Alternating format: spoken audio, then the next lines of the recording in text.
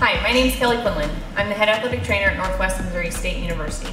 My staff is certified to perform instrument-assisted soft tissue mobilization. We utilize this treatment for numerous injuries such as strains, sprains, tendonitis, and other chronic pain that athletes deal with on a daily basis. I was very excited to discover the Ellipse tool.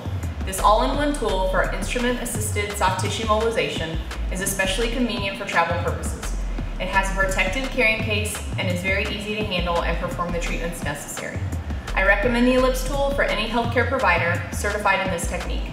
It is a versatile and affordable tool that works to release myofascial adhesions as well as promote the healing process.